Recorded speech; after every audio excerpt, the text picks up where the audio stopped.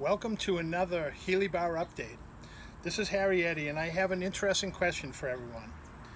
If you were going to buy a new car or truck or even a tractor, would you do so if it didn't have an adjustable seat and steering wheel?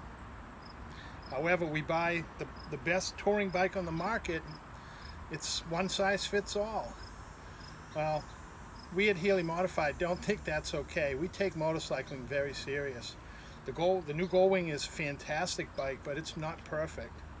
And um, our contribution to the motorcycling public is to offer an adjustable handlebar, and this it's now available for the new 1800. And I'll show you up close what it's all about. We're going to be doing a, a, video shortly that'll be very comprehensive, but this is a this is just a quick kind of teaser. Uh, we just finished this today. This is beta set number one. It's This is the only bike in the world right now that has this handlebar on it.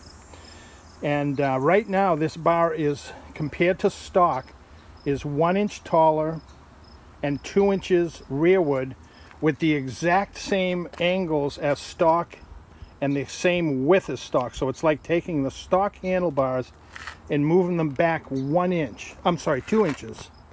Uh, this bar could be increased. It could be two inches higher if you wanted and it could be further forward for almost zero rear offset or even further forward than stock or up to almost four inches back from stock. Not bad.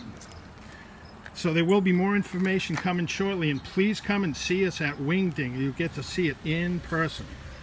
Thank you.